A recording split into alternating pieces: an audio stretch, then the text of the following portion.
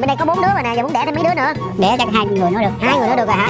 Ờ, hỏi hỏi thử cổ coi giờ thí dụ như hai đứa mình mà có duyên lấy nhau đẻ đẻ em hai đứa nữa em đẻ nổi không? Em hai đứa nữa em đẻ được không? Đẻ luôn ba luôn đẻ luôn ba Em tên ờ, Nguyễn Anh Kiệt, sinh năm 83 ở ờ, Tiền Giang, rồi kiệt đang làm công việc gì nè? Ở bên xây dựng. là mình làm về cái gì? Kỹ sư hay thầu hay Mình Ờ. mình lãnh nhà chị, đội ngũ mình có đông người anh em không? Sáu bảy người lớn. À, mình làm công việc này lâu chưa Nay em làm hai mấy năm, à, điểm mạnh điểm yếu của mình là gì nè vui vẻ hòa đồng, em biết nấu ăn. Điểm yếu của em hay nhát gái. chị biếu em hay nhắc gái hồi hồi nữa quen rồi dám mời ta đi ăn không Dạ dám. có mấy cái nón bảo hiểm Có con cái không? trời ơi ta đi lên vậy ta phải đem theo một cái nữa chứ Lát Con- thì ờ, em mua chứ gì đâu. à mua chứ gì đâu ha dễ thương quá à. rồi ờ, chào à, em gái em tên là gì Dạ em chào chị Cát Tường ừ. Em tên là Nguyễn Thị Hồng Thắm à, Em sinh năm 1984 Hiện tại công việc của em là kinh doanh Em làm bên ngành quảng cáo.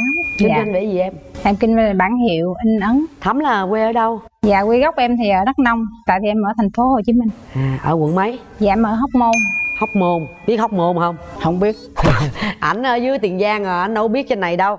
Rồi à, nhưng mà thật ra là gần lắm. Giáp ranh với vừa 12 với lại Hóc Môn. Đó thì đi qua cao tốc là tới mỹ tho. Mà em là nửa cao tốc hay là? Em là đường dẫn vô cao tốc chị. à đường dẫn vô cao tốc là tới à. Nếu mà trong bằng trong thành phố mà ví dụ như chị từ gò vấp mà chị qua quận 7 đó là đi bình thường là một tiếng một tiếng rưỡi. Dạ. thì từ chỗ quận 12 hóc môn em mà đi tới chỗ ảnh cũng chừng tiếng rưỡi đồng hồ chứ không có nhiều. Sao trong ngày cái đi tới là được? À miễn đi tới là được. Có ngại xa không? Dạ không chị. Em có em có ngại xa không? Không ngại chị. Mà có thời gian rảnh để đi không Thì em chủ nhật là em nghĩ là đi được. à. à chủ làm suốt tuần chủ nhật nghỉ Dạ. rồi vậy cũng được điểm mạnh điểm yếu của mình là gì hay thăm Điểm mạnh thì có thể là hiểu chuyện Còn điểm yếu thì chắc là hơi nóng tính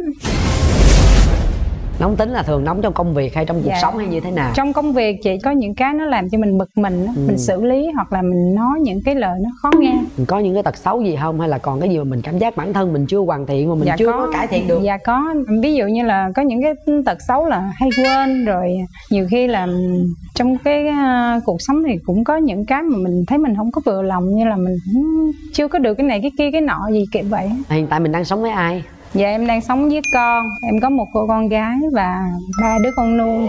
Một con gái ba con nuôi nữa. Wow rồi ai phụ chăm ờ, các con? Dạ các con cũng lớn rồi. Con gái của mình là bao nhiêu dạ con gái ờ, ruột của em thì năm nay 11 tuổi tuổi. Rồi. Còn ba cháu kia thì cũng lớn rồi. Cháu lớn kia thì 22 tuổi cháu kế là 18 tuổi và bé nhỏ thì 8 tuổi rồi. Ủa sao con nuôi lớn mà lớn hơn À, con dạ của mình? tại vì là con đó là con của một người bạn. Cô bạn đó đi làm xa gửi luôn cho em để Ừ. trông nom luôn. À là ba đứa một mẹ mình nuôi một lượt ba đứa Dạ. một nhà một người bạn luôn. Dạ. Mình nuôi lâu chưa? Dạ cũng được 3 năm rồi chị. Được 3 năm rồi ha. Dạ. Rồi à, trong nhà vậy là có ai phụ mình không? Dạ không tại vì các con cũng lớn rồi cho nên chúng nó cũng tự lập hết. Rồi. Em cũng sáng thì đi làm. Có bé nhỏ thì sáng thì cũng phải chuẩn bị quần áo đồ vậy. Các Rồi con à. thì cũng có tính tự lập hết à, vậy con à, gia đình mình ba mẹ mình là hiện tại ở đâu dạ hiện tại ba mẹ em thì ở quảng ngãi Ok, chút xíu nữa mình sẽ tìm hiểu về cái tình duyên mình sau ha. À, sau khi nghe câu chuyện của bạn à, nữ chia sẻ về những đứa con á, thì à, không biết là em có suy nghĩ gì không ha? Em nghĩ ờ, thấy bạn gái cũng cũng có rất là nuôi con. Cũng có đất nuôi con. em có chịu không? chịu, chịu. Em có phụ nuôi được không? Được, Được hả? Dạ. Gan dữ à. Được- không? được. Bốn đứa con đó. Nói vậy thôi chứ con mấy cháu lớn lớn hết trơn rồi Dạ. Hình như là còn nghe là còn hai đứa nhỏ thì vị thành niên ha Dạ. Một đứa là con ruột 11 tuổi phải không? Dạ. Với một đứa con nuôi là 8 tuổi. Dạ. nhưng mà bên kia chắc là ba mẹ nó cũng mình coi giùm nuôi giùm thôi chứ cũng phụ lo kinh dạ tế nói mà chung đúng là tiền học đồ thì à, mẹ có lo chút đỉnh thôi. Chứ Ừ. còn nói chung là ăn uống mọi thứ là em lo hết. Không rồi nhiều khi đỡ. à, mẹ nó không gửi thì mình cũng lo luôn. Thì mình nuôi trong nhà mình riết thành con của mình Dạ. luôn vậy mà. Còn bên đây thì sao? Giờ tình trường sao? Kể nghe thử coi. Em có hai mối tình. Mối tình trước là lúc 27 tuổi. Ừ. rồi bạn gái tự nhiên có, có đám cưới cái có chồng. Rồi cái em- đang quen em tự nhiên đám cưới có chồng. Đang quen em tự nhiên đám cưới có chồng cái bữa đó nhắn tin bữa đi chơi cái cái rồi bạn gái em tính đi rồi ừ. rồi cái nói này ra này đám cưới của em này đám cưới của em Ừ. rồi em cũng bỏ luôn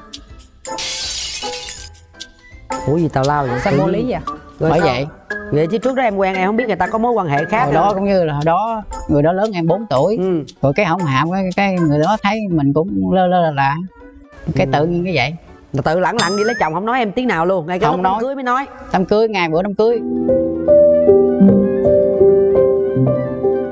Cũng tại em là ý là tại vì em nhỏ hơn người ta cái nhỏ em, hơn em cũng đi ra đường thấy hơi mắc cỡ.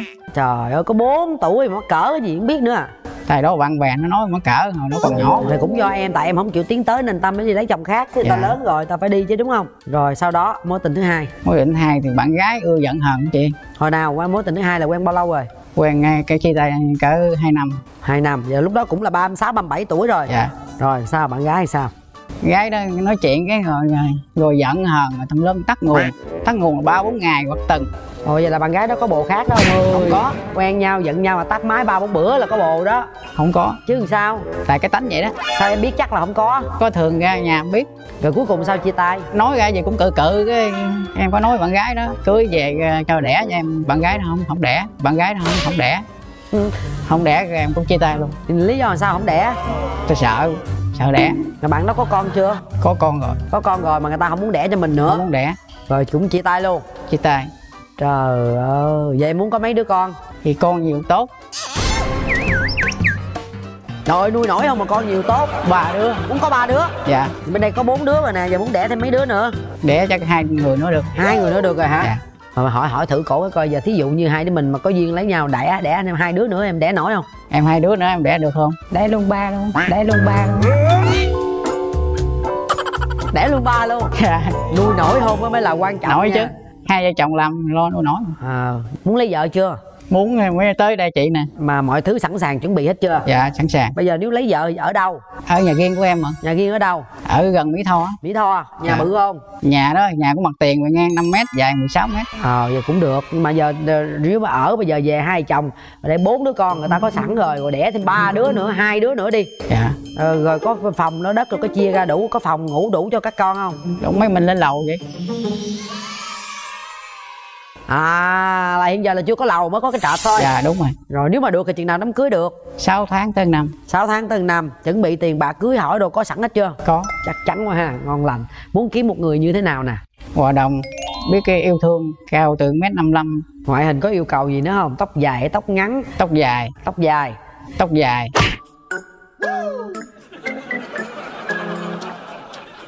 ăn bận làm sao? À, ví dụ như là thích sexy hay là thích công sở kín đáo hay là kinh đáo? Thích kín đáo. Ví dụ như bạn gái và vợ mình có xăm mình chút xíu nhỏ nhỏ nhỏ được không? Được. Được luôn. Dạ. Vậy cũng chịu chơi quá chứ. Giờ vợ tóc ngắn là sao? Tóc ngắn ngày mốt để dài lên đâu. Không giờ anh này anh thiệt thà thiệt. Thích đã thấy dễ thương rồi đó. Nhưng mà giờ hỏi thiệt nè giờ mình làm cái nghề của mình đó thu nhập nó ổn định không? Dạ không định chị một tháng rồi thu được nhập được khoảng bao nhiêu trung bình á? Cỡ 13 14 triệu. Rồi là có nuôi nổi con vợ con không? Thì hai vợ chồng nuôi chắc nổi à phải hai chồng vợ vậy là có cho vợ đi làm phải không? Cho. Vợ ra ngoài đi làm rồi rủi vợ mình đẹp rồi người ta ngó nghía người ta, đeo đuổi vợ mình rồi tính sao? Cái đó tùy theo người vợ thôi đâu có ấy được. Nhưng mà cái công việc của mình làm có nào bị thất nghiệp không? Hay là lúc nào cũng có tại nhà để vì xây? tại vì em quen bạn bè rồi anh em ruột cũng đánh nhà tùm lum hết. Chứ nó san sẻ nhau lúc người này không có một chuyện người cái người kia cho. Dạ coi như là lúc nào cũng có chuyện để mừng Dạ. hết tháng mưa thì nhốt trong chuyện cho làm ở trong. À dạ là cũng ổn ha cũng được. Chứ không thôi bữa đực bữa cái cũng khó à. Đâu có. Nha nhưng mà để dành chứ- để có để dành không tại vì nhiều khi tích cốc phòng cơ có lúc nhiều việc có lúc ít việc rồi cái mấy tháng ít việc rồi tiền đâu xài. Cũng đều đều chứ không ít việc. À, nhưng mà có để dành được đồng nào chưa? Có cho chị. Nhiều ít rồi. Đủ ờ, cưới thôi đâu nói nói được. cưới thôi không nói được hả? Trời tôi có mượn nợ đâu hả? Thì khổ ghê. Thích cá tính bạn gái hay sao? Vui vẻ. Thích vui vẻ. Hơi dữ dữ được không mấy người mà giỏi giỏi ra kinh doanh là thường thường ta hơi dữ dữ. Cũng được cũng được cũng được. Được cũng được mà mặt thấy hơi sợ sợ. Tại vì em ở đó là buôn bán được ở gần chợ. Vậy ví dụ mở shop mở cái tiệm gì cho vợ buôn bán nhà được không? Dạ được. Nhà mặt tiền mà phải không? Mặt tiền. Rồi mọi người đi qua đi lại đông đúc phải không? Sầm uất đúng không? Dạ. Rồi ngon lành. Rồi đó là những thông tin của ảnh ha. Còn mình thì sao? Tình duyên mình như thế nào hả em? À, em thì à, ly thân thì 8 năm rồi. À. chính thức giấy tờ thì à, 2 năm à là mới ly dị được 2 năm ly thân thì 8 năm. Nhưng mà nguyên nhân sao mà ly hôn vậy em? Mình À, nói chung được. là hai vợ chồng thì nó không có đồng chí hướng. Em thì à, em có suy nghĩ khác còn ảnh thì cũng có suy nghĩ khác. Hai người ở chung nhưng mà không có có chung một cái quan điểm thì nó cũng khó. Lúc đầu thì cũng có thể nói để mà san sẻ nhưng mà sau thì nói hoài không được thì im luôn. Và im lặng trong một thời gian ngắn ngắn thì tách riêng ra ở riêng là ly thân á là tụi em ly thân. Riêng biệt hết à, sau đó thì ảnh à, thông báo là ảnh muốn kết hôn. Thì em làm giấy tờ ra. Ừ. ở trong suốt cái thời gian ly ly thân đó là có khi nào mình muốn quay về dọn về lại dọn về lại với nhau không? 8 năm đó là em không gặp. Ảnh có qua thăm con nhưng mà tụi em thì không có gặp riêng. Hay là vấn đề nói chung là tụi em sau thì vẫn làm bạn với nhau. Tại vì à, bố của con gái thì cũng rất là hiền. Chỉ là tụi em không có duyên thôi Ừ. nhưng mà rất là hiền Rồi lúc mà ở chung với nhau thì ở chung với nhau được bao lâu? Dạ chính thức thì chắc khoảng mấy tháng thôi. Rồi lấy nhau ở có mấy tháng à? Dạ. Ly thân 8 năm con gái là mình nuôi. Dạ một mình em rồi và hiện tại bây giờ thì ảnh lập gia đình rồi. Chưa nhưng mà có còn qua lại thăm nom con dạ anh không? vẫn có trách nhiệm với con. À dạ. thôi về cũng được an ủi ha. À, rồi thôi bây giờ chuyện cũ bỏ qua mình muốn tìm một cái người trong tương lai mình là người như thế nào? Tại vì em thì cũng không phải là người hoàn hảo cho nên mình cũng không thể tìm được một cái người hoàn hảo. Em chỉ mong gặp được một cái bạn có thể thông cảm với em là được thông cảm với em là được. Tại vì à, một người mà họ thông cảm với mình thì có rất là nhiều chuyện mới chia sẻ được. Em chỉ hy vọng vậy thôi có yêu cầu gì về người bạn trai không? Dạ không đó chị. Ngoại hình? Dạ cũng không cần đâu. Rồi tính cách? Dạ thấy cũng được là được rồi. Vậy điều gì em không thích ở một người đàn ông? Dạ đừng có đi nhậu. Chà này dân xây dựng chắc có nhậu. Có vậy có không? Thứ bảy nhậu con làm ít lắm. Mỗi lần nhậu được bao nhiêu? Khi vui thì mấy em ấy chứ còn mấy đi về sớm nhậu chừng nửa chừng. À vậy lúc rảnh rỗi anh làm gì? Ngủ ở nhà nằm ngủ với ba câu khuyên nữa. À đâu có hình không? Cho chị mượn hình chị coi trời ơi sao cái hình mờ dữ vậy? Rồi tôi nhìn tôi còn không thấy đường không biết ai luôn đó. Chắc là có hai ba cô gái đó mình nhìn coi. Một hai ba bốn anh. Trời ơi bốn anh có một anh luôn đó. Chắc cái này bốn anh này là làm chung phải không? Rồi ngồi cà phê đang bàn bạc công việc chơi vui phải không? Chắc người này vậy. Ồ đỏ nhỏ xíu đó hả? Ủa sao chỉ người nhỏ xíu vậy linh cảm linh cảm vậy hả? Dạ. à chắc tại anh cũng nhỏ nên anh thích người nhỏ nhỏ phải không? Dạ. Anh cao mét mấy? Mét sáu sáu. Mét sáu sáu. Biết hát cải lương không? Dân miền tây biết hát không? Cũng biết mà. Lau hát thử một câu để cho bên này người ta đoán ờ, nhìn ờ, nghe nghe giọng đoán hình coi. Trở lại thành đô sau những ngày dài nơi chiến tiếng chợt nhìn em qua căn nhà màu tím lòng bỗng nghe lưu liếng khôn cùng. Hay. Mơ ước bâng quơ dệt mộng tương phùng là quen với em hết năm ngày phép em ơi ngập ngừng e ngại nói tên. Muốn nói yêu em nhưng sợ đời chinh chiến. Năm tháng dài xuôi ngược miền xa, để lại mình anh một tình yêu sầu khổ hay. Rồi bây giờ nghe giọng hát đó có đoán được anh nào không trong bốn anh này? Dạ chắc anh này ha sao đoán anh đó vậy? Thì em thấy à, thấy đẹp trai hơn ba anh kia thấy đẹp trai hơn ba anh kia. Ô vậy hả? Ghê ghê ghê. Cái anh áo thun trắng nha đẹp trai hơn mấy anh kia. Ghê khoái rồi khoái rồi. Rồi bây giờ mời các bạn nhìn vào cánh cửa trái tim này nha. Cái hình này mờ quá tôi không biết ai mà ảnh đoán cái cô đỏ đứng ờ, sau lưng cái cái ờ, cái cô lớn tuổi đó. Một hai ba. Chào mừng các bạn đến với kênh youtube Bà Mối Hẹn Hò. Cùng hai MC cười kha kha kha Mở với các cặp đôi hôm nay nhé. Dạ chào anh. Chào em. Dạ. Em Sao? đoán đúng rồi đó. Hả? Em gái đoán đúng rồi đó. Đoán đúng rồi hả? Dạ. Mà rồi, rồi anh đó đẹp trai hơn mấy anh không kia phải hả em không phải áo đỏ. Rồi bây giờ rất tiếc bên đây sao? Giờ nhìn lại coi cổ là cô nào? Cơ, câu này quá đâu cô đó hỏi cổ coi giờ em là ai vậy? Chứ không còn câu đó câu này chứ hết rồi.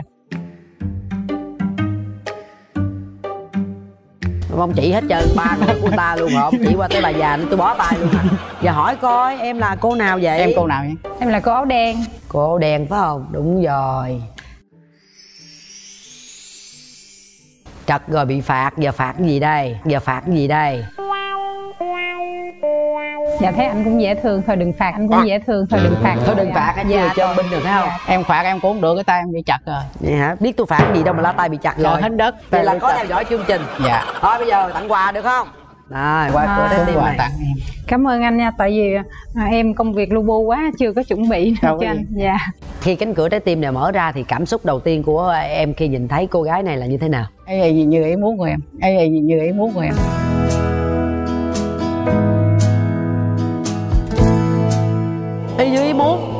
Xạo hồi nãy là thích tóc dài ta tóc ngắn mà y như ý có cái tóc ờ, tóc à? À rồi giờ sao? Như người mình tìm đó vậy à như người bình tìm luôn. Bị có cái tóc ngắn thôi. Không ngắn thì không thích. Không thích. Rồi bây giờ mai mốt mà nhưng mà cổ thích ngắn vậy rồi sao? Không em cũng không biết nữa. Thích tóc dài thôi. Em khoái tóc dài. Rồi cảm xúc của em đầu tiên khi gặp à, mở cửa trái tim này ra là như thế nào? Dạ thấy anh hiền. Thật thà ha. Dạ dạ. Người miền tây chất phát cái có sao khai cả trơn cái trời hỏi Dạ. gì khai trơn à dễ thương quá. Rồi cuối quà coi anh tặng món quà gì nè. Dạ em xin phép mở quà nha. Rồi Ồ, cái gì đẹp đây? quá đẹp quá. Cái này là chiếc áo ấm. Áo ấm hả? Dạ. Áo gió nào- đi đường phải không? dạ đúng rồi. Rồi chút xíu nữa mà ví dụ như nắng quá thì chùm vô. Đó dạ. đúng rồi. Cảm ơn anh nhiều.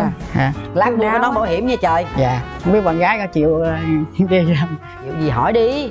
Em Hỏi có chịu sao? đi ờ, chơi với anh uống nước. Không? cái đó thì chút xíu nữa rồi à, giấu chị cắt tường đi. Giấu chị cắt tường đi nguyên lý. Trời ơi chưa chơi giấu chị cắt tường đi nữa. Đó rồi có gì tôi nhờ tôi tôi tôi tôi kiếm giùm cho cái nón bảo hiểm. Dạ. À, bây giờ thì chị tường sẽ dành thời gian cho hai bạn một chút xíu để hai bạn trò chuyện riêng với nhau cùng thưởng thức một cái bữa cơm của chương trình. Với tính năng KYC xác thực hình ảnh Pickable cho bạn smart thật, sẽ chia thật. nãy nó quê ở đâu em quên rồi em ở Đắk Nông nhưng mà gốc là ở miền Trung. Hay hiện giờ em ở đâu? Hiện giờ thì em ở quận 12 giáp ranh với Hóc Môn. Anh không có gần thành phố. Dạ không đành thành phố vài bữa lên chỉ dẫn đi ha. Chủ nhật lên được không? À, anh muốn lên hồi nào cũng được anh muốn lên hồi nào cũng được. Đâu cần phải tới ngày chủ nhật đâu em đâu phải về hành tại chánh ờ, chủ nhật á anh thường nghỉ làm nhưng mà đối với mình quen ờ, ngày nào Là nghỉ ngày cũng nào được. cũng cũng rảnh luôn. Cũng rảnh nhưng sắp xếp việc. Dạ thì công việc ở dưới làm ổn không anh? Ổn. Xây dựng là mình à, chuyên à, đi xây dựng luôn giống như là mình à, lên market rồi mình lên bản vẽ rồi luôn. Đúng rồi như ở quê là mình xây nhà xây nhà tắm Cấp rồi hàng rào có bốn mà. Ừ. chứ cái đó phải có bằng. Em dùng đi. Dạ dạ rồi rồi, rồi cảm ơn anh. Anh à, dùng đi. Em thì à, làm quảng cáo. Công việc của em thì cũng tiếp xúc với à, nam nhiều. Còn Đa anh không có tiếp xúc với phụ nữ. À không tiếp Không, xúc không. nhưng mà gặp riêng thôi đúng không? Đâu có rồi ở nhà được mấy người? À mấy anh chị em? Ừ, bảy anh chị em. Bảy anh chị em anh là út hả hay sao? Kế út. Vậy là được rồi. Có một chị gái. Ở nhà ba mẹ lớn tuổi chưa? Má anh mất rồi còn có có ba ba này tám mấy à. ồ vậy là hiện tại anh ở mình hay là anh ở với ở mình. Xong ở với ba ba lớn tuổi không ở với ba? Thì hồi đó ba ở với em. À vậy em cặp dách nhà luôn. À, nói chung là mấy anh em là ở gần gần nhau hết cũng có người hơi ở xa. À, anh hỏi em hỏi gì chứ sao thế thì em hỏi hoài sao thế thì em hỏi hoài nếu ờ, được thì cỡ cỡ ờ, vài tháng rồi. Vậy thấy bạn gì anh? Cưới em được không? Cưới em được không? Dạ thì cái đó thì em phải từ từ chứ. Nếu mà được là anh hỏi được cái gì chứ? Nó quan trọng nếu là, mà là hai đứa bấm nút nhau á à bấm nút rồi còn à, vấn đề mình Ờ, phải tìm, tìm hiểu hiểu, nữa, được dạ á. đúng rồi. Tại vì thật sự đó cái vấn đề kết hôn hay là một cái gì đó thì mình cần phải có rất là nhiều kế hoạch. Thì em thì là một cái người rất là chu toàn. Cái trước tiên là em hỏi anh là anh có chấp nhận được em là tới mấy đứa con hay không? Thì nếu thương em thì chắc được. Dạ chắc được đúng không? Nói chung thì công việc của em thì à, cuộc sống thì vẫn lo cho các con được. Nhưng mà em cần thì cũng mong gặp được một cái người mà chia sẻ với mình trong công việc tại vì sau công việc thì nó cũng có rất là nhiều mệt mỏi. Mình cũng hy vọng là cho một cái cơ hội thì em lên em cũng hy vọng là gặp được một người. Để mà trước tiên mình làm bạn đi sau đó mình tìm hiểu. Chứ anh hỏi em gấp quá em cũng không biết đường trả lời. Dạ. Là một mình em lo hết luôn em với con ha. dạ. Có ai phụ em lo không? À, có mẹ của bé thì à, ba bé kia thì cũng có phụ chút đỉnh. Nhưng anh giờ anh phái một người con khi thấy lớn tuổi anh xin con nuôi luôn á ừ. tại không quen ai á. Ừ. nghe em nói đông anh cũng phái vậy hả? Ví dụ như là ở miền tây là ở tiền giang là ở ừ, tiền giang vậy luôn hả? Chứ không có ở đó giờ. À, ý là không có đi tỉnh đồ để làm. Không làm quanh quanh mấy cái xã gần gần á. Nhưng mà đa số xã nhà nhiều. Nhưng mà thấy anh hiền anh thấy em dữ không? Chắc lành hơn nghe lưng anh à không có phải lanh đâu nhưng mà tại vì sợ là dữ thôi chứ lanh thì không có lanh đâu. Thì anh có gì nói nè nói à. Dạ. nhiệt tình trong cuộc sống thì anh có sợ những người phụ nữ họ đã từng lập gia đình chưa?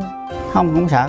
Cái vấn đề mà có con riêng rồi á nó cũng là một cái rào cản rất là lớn. Tại vì không phải là anh riêng anh mà là còn gia đình anh nữa bạn bè anh nữa. Hồi đó anh không sợ gì gia đình anh cũng không nói gì. Dạ. Cái đó duyên nợ của mình mà. Dạ. Thì em cũng hy vọng là mình có duyên để mà gặp cũng cho cái cơ hội đi để mà tìm hiểu nếu mà không được nữa thì cũng là bạn đúng, đúng không? rồi dạ. không được thì cũng là bạn đâu cũng là một người bạn. Rồi sao giờ nãy giờ trò chuyện nhau được nhiều chưa? Dạ nhiều chị hiểu được gì không? Dạ hiểu. Bộ nôn lấy vợ dữ ha. Dạ nôn. Nôn quá trời nôn thiệt tình ghê tôi ngồi ngoài mà tôi nghe hết trơn dễ thương quá trời hà chị hỏi em nè ví dụ bây giờ mình hai người mình lấy nhau về thì mình làm cách nào để mình có thể hòa thuận được trong cuộc sống gia đình?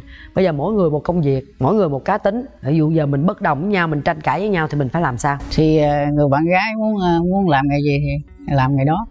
À muốn làm gì làm đó? Còn nghề em thì đó giờ không thay đổi. Bây giờ ví dụ như hai chồng gây gỗ nhau vậy cách nuôi dưỡng con cái. Rồi giờ làm sao? Em phải nghe vợ hay là vợ phải nghe em?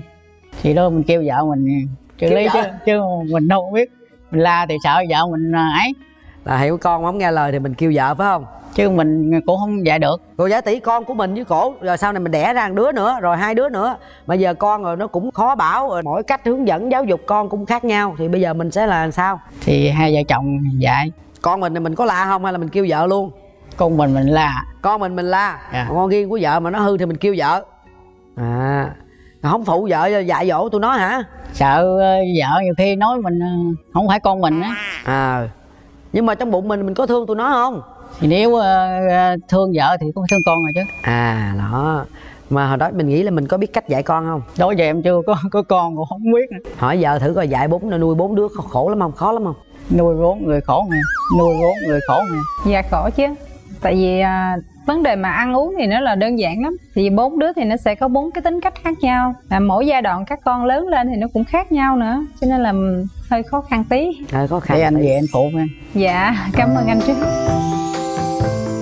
bây giờ em còn thắc mắc còn muốn hỏi gì cổ nữa không? Trước khi mà mình quyết định có bấm nút hẹn hò với nhau hay không? Dạ không. Muốn thuyết phục muốn hứa hẹn muốn ờ, hỏi thăm về cái gì nữa không nè? Thì em đến đây muốn ờ, em cho anh cơ hội. Thôi giờ vậy tôi cho hai người nắm tay nhau nha. Nắm tay nhau qua cái cửa trái tim này 30 giây thôi.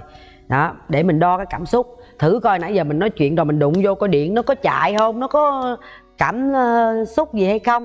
Rồi nhìn thẳng vào mắt nhau lúc đó muốn nói gì nói. Rồi mời hai bạn nắm tay qua trái tim này 30 giây. Nhìn thẳng nhau nào muốn nói gì mình nói đi. Em nói trước đi. Thì em nghĩ là chúng ta bắt đầu làm bạn được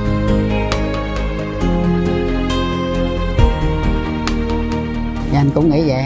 Nhìn thẳng nhau đi nè có có run hơn rẩy 30 giây rồi đó chị? Em Hơn thấy nó điện dữ lắm rồi đó em chị. thấy run lắm mà chị. Dạ. Run lắm à hả? dạ đúng rồi chị. Rồi. Vậy buông ra nha chị. Em nắm luôn. Nắm luôn nắm luôn rồi chị nào bấm ờ, cho hẹn hò đi rồi cho nắm luôn. Dạ. Thật sự cảm nhận của chị tường ngày hôm nay à, có thể đây là cảm nhận của chị nha. Dạ. nói cũng đừng ai giận chị tường gì chị cũng là người có sao nói vậy. Dạ. Có thể là về à, mẫu người lý tưởng đó dạ hai bạn có thể là chưa có phải là cái mẫu người lý tưởng mà các bạn mong muốn dành cho nhau dạ nhưng mà rõ ràng mình thấy à, về à, hoàn cảnh về tuổi tác Dạ. là nó tương đối là nó phù Dạ. hợp cái tuổi tác nó cũng quan trọng công việc làm ổn định cái bên ngoài thì nó cũng tương đối vị trí địa lý nó cũng tương đối Dạ. quan trọng ở anh này thì thường thấy ảnh có cái điểm mạnh là cái sự thật thà chất phát kiểu là cũng sẽ là cái người đàn ông của gia đình mặc dù chưa có vợ nhưng mà nhìn cái kiểu này cái gương mặt này thì có thể là cái người vợ có thể là uyển chuyển, khéo léo là anh sẽ theo được cái ý của mình. Còn à, đây á, người phụ nữ này á, thì là một con người cũng trải qua nhiều cái sóng gió rồi, có nhiều kinh nghiệm, đó là cảm nhận của chị thôi. Nếu như mà chúng ta thấy mà có một cái chút hy vọng, cơ hội mình dùng lý trí mình dòm, đầu tiên 30 phút thì không có nói được gì nhiều, không hiểu được gì nhiều.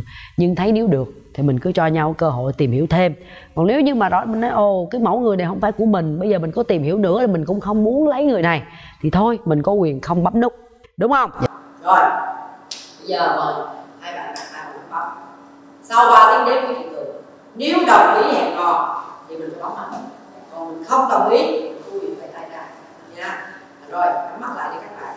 Nhắm mắt lại, suy nghĩ thật kỹ về câu chuyện nãy giờ mình chia sẻ lần đầu tiên mình gặp mặt, cảm xúc mình sao nè. Rồi một sao nha. Suy nghĩ thật kỹ. Một từ không có suối để bỏ đi không bỏ. Tường chúng nói cảm nhận cảm nhận. Đó là cần hai. Và ba.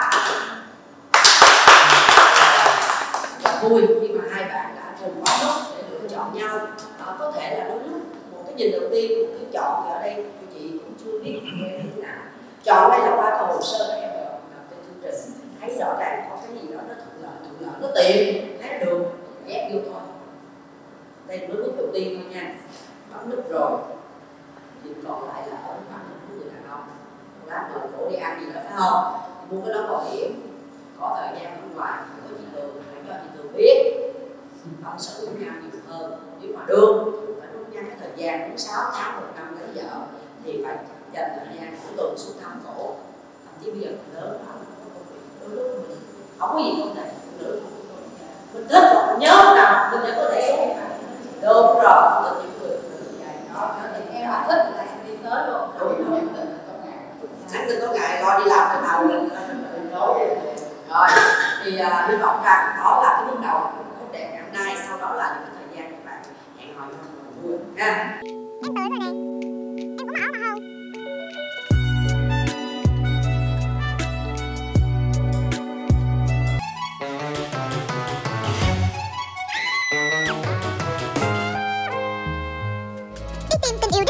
hai đời một chơi một vực với profile với tính năng EKYC xác thực hình ảnh pickable cho bạn